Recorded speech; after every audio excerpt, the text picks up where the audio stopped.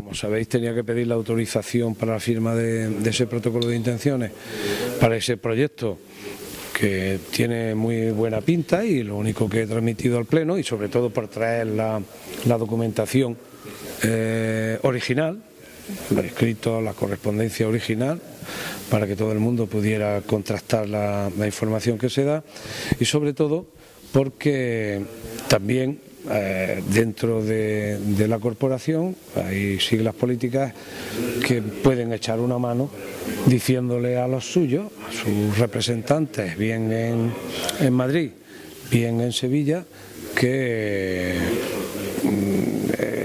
ayuden en ese sentido, en el sentido de que de la, el escrito, la credencial que les pido de colaboración dentro de sus competencias, recursos y normativa a la que están sometidos. Es decir, la Consejería de Industria, la Consejería de Empresa, la que, la que sea menester, eso está ahí dividido, que nos dé un escrito diciendo que la Junta de Andalucía está, apoya y colaborará en ese proyecto y demás. Y asimismo, eh, a la Dirección General de, Asuntos Internacionales en lo que es el Ministerio de Asuntos Exteriores, como, os decía. Vengo a, recabar eh, esa autorización para firmar el protocolo y al mismo tiempo a comunicarle a, las demás siglas que si llaman a los suyos le dicen, oye, mandale el escrito esto al alcalde de Linares, lo necesitamos todo, porque es un proyecto real y que se puede hacer perfectamente y, sería una salida para Linares. Ya está ahí, yo lo que quiero es que se muestre la voluntad, porque ha habido muchos que se han abortado tiempo atrás. Entonces lo que no quiero es que eso ocurra más, y ya está ahí, que, y que no quede por, por, la unidad de acción y por la voluntad de, por trabajárselo y, y pelearlo, ¿no? Sencillamente. Y esto no es electoral, que es lo que les he dicho, que viene esta fecha, claro, si es que yo empecé a mover esto a mediados del año pasado. Y la correspondencia primera la tengo de precisamente en noviembre. ¿Qué pasa? Pues que adelantan las elecciones autonómicas al día 2 de diciembre. Pues, pues ya no tenía nadie. ¿A quién puedo, a quién puedo mover en ese sentido? Porque las competencias las tiene fundamentalmente la comunidad autónoma en, esa, en esos asuntos. Pues hasta que no ha habido mm, ya una realmente una nueva corporación, un nuevo parlamento y una nueva constitución en la Junta de Andalucía de la, y con los representantes de las distintas consejerías, pues no he podido hacer eh, más en ese sentido, ¿vale? Queríamos reiterar nuestra posición sobre la liquidación del patronato de bienestar social, sobre nuestro voto en contra, porque nos parece un asunto muy importante en la situación actual en la que está Linares. la liquidación o la disolución del patronato el 21 de diciembre del 2017 se eh, solventó o, tuvo un resultado en la votación de 14 votos a favor, 9 en contra y una abstención.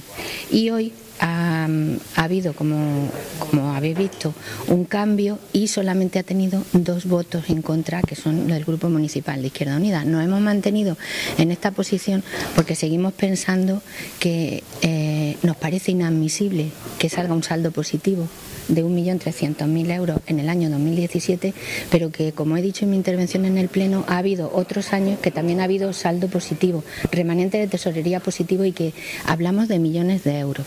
Esto lo han denunciado los sindicatos en su día porque este dinero ha servido para pagar deuda y nos parece una cuestión en la situación en la que está Linares. Normalmente hubiera sido algo inadmisible, pero en la situación en la que está Linares, con tantas familias con necesidad, que sobren millones de euros y que se utilicen, porque claro, cuando hay un remanente positivo de tesorería se utiliza para pagar deuda según la ley de estabilidad presupuestaria, pues hay que evitar que, sobre, que sobre entre, comillas, ese, ese dinero.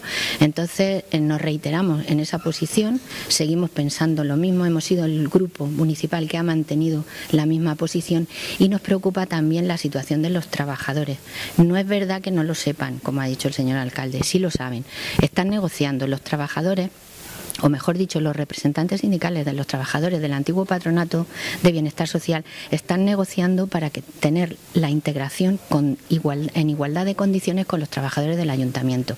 Y la cifra que nos han dado los representantes sindicales es de 120.000 euros de ahorro para el ayuntamiento porque no le pagan a los trabajadores esa diferencia salarial. 120.000 euros anuales.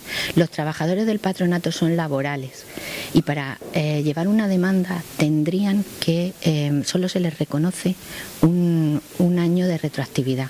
Entonces, si siguen las negociaciones y el ayuntamiento sigue ahorrándose ese dinero eh, mensual de no, no, pagarle esta diferencia salarial a los trabajadores, los trabajadores del antiguo patronato van a perder todos esos meses de de cobrar esa de actualización de, o de equiparación, mejor dicho, del salario.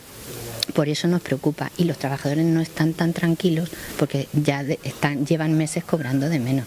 Lo de la tranquilidad no es cierto y que no lo sepan tanto el alcalde como el señor concejal de, recursos humanos, si lo saben, conocen la situación y están negociando.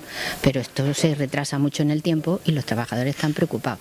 Y nosotros también porque se nos prometió o se nos aseguró que la, em, la integración iba a ser en igualdad de condiciones. Es decir, ahí entra la equiparación salarial.